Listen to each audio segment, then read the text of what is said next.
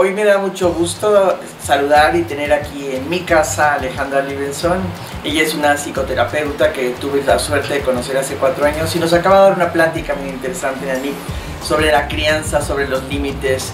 Y creo que pues nos, nos ha gustado tanto que le he pedido que por favor le hagamos unas pequeñas cápsulas para ustedes, mis colegas, y para todos los profesionales de salud que tenemos que ver con los padres de familia. Alejandra Livinson es una eh, psicoterapeuta argentina eh, que se ha especializado en vínculo, en educación de padres y ha trabajado también para la UNICEF. Ella es egresada de la Universidad de Salvador. del Salvador y trabaja con, en programas para padres. Tiene varios libros, ahora, yo, ahora mismo tengo uno conmigo que se llama Los Nuevos Padres, pero tiene otro sobre crianza y la idea es que los papás pues siempre sigamos aprendiendo. Eh, le platicaba antes de hacer esta pequeña entrevista que nosotros como educadoras perinatales no nos podemos quedar nada más con la preparación del parto, posparto, recién nacido y lactancia.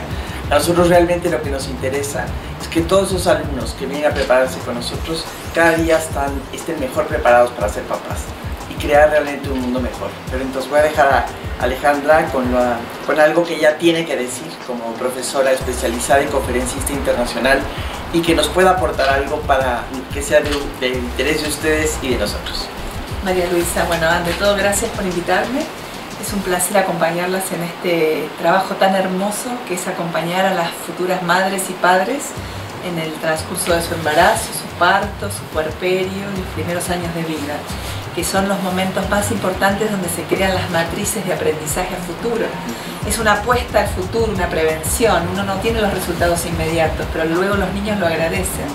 Entonces, cuanto más tranquilos los papás estamos, más acompañados, eh, lo más probable es que esos niños sean más felices, más seguros, tengan una autoestima lo suficientemente alta para afrontar los avatares de una vida tan difícil. ¿no? Entonces, eh, acompañarlos durante el embarazo y prepararlos es una tarea altamente valiosa. Y tú tanto con ellos cuando tienen los bebés en la, en la panza, como les decimos, como luego cuando nacen, somos eh, responsables, eh, acompañamos, no tenemos el saber, el saber lo tienen los padres. Lo que hacemos nosotros es tra traducirlo, ponerlo en palabras, compartir espacios con otros, para que no se sientan solos y sepan que a todos les pasan situaciones similares. Entonces, bueno, criar un hijo es un trabajo cotidiano, es una construcción, es algo desprolijo, es cultural. No toda cultura espera lo mismo de un hijo, hay ideales.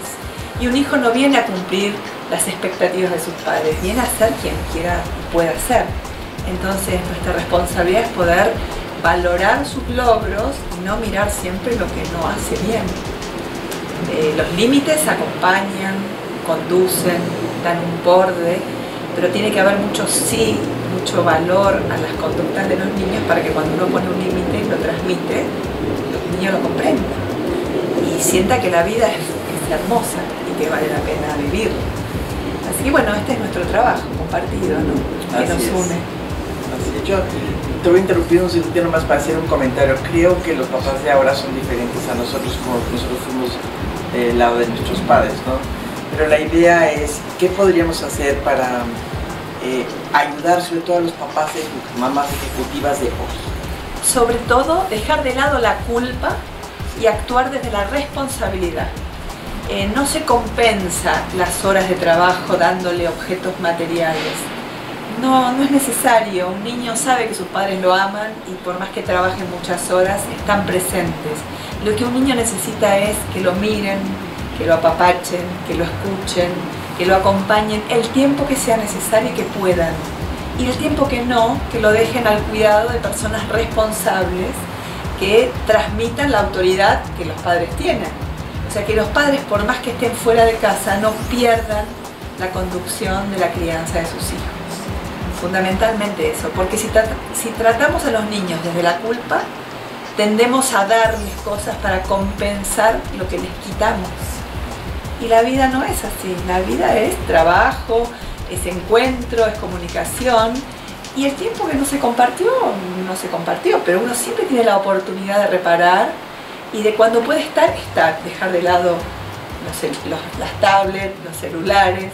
Y por un minuto mirarse a los ojos, preguntarle cómo fue tu día, crear espacios de encuentro, porque a veces los espacios hay que construirlos. Naturalmente uno a veces puede trabajar 15 horas seguidas.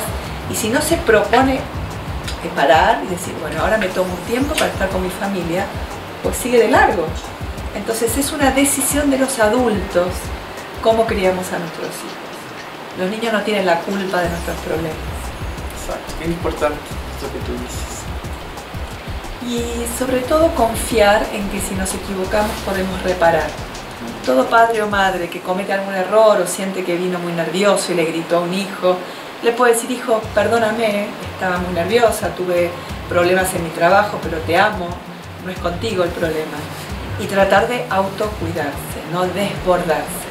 Porque cuando uno está muy enfadado es muy difícil transmitir un límite.